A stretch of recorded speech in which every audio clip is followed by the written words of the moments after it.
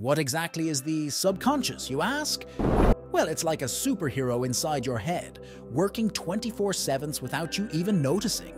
It's the part of your brain that stores all sorts of information, feelings, and memories, kind of like a super organized library. Ever had a moment where you suddenly remember your best friend's birthday even though it's not written on any calendar?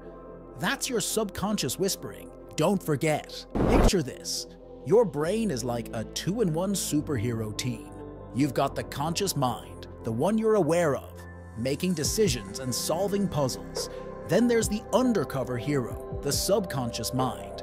It's like the backstage manager, working silently behind the scenes. But here's the coolest part. Your brain adores positivity.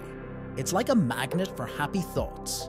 When you believe you can do something, your subconscious gets all excited and helps you find ways to make it happen. Imagine it as your personal cheering squad, always rooting for you. Did you know your mind is super creative too? It can dream up all sorts of ideas and solutions, even when you're asleep. That's your subconscious playing like a movie director, crafting dreams that might make you giggle or even fly in your sleep. Now, positive thinking isn't just about saying, I'm awesome. It's about believing it too. Your brain doesn't know the word impossible.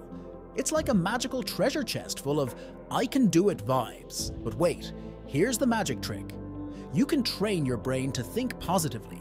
It's like flexing a new superpower. Just by practicing happy thoughts, you're planting a garden of joy inside your head. So here's the scoop, friends.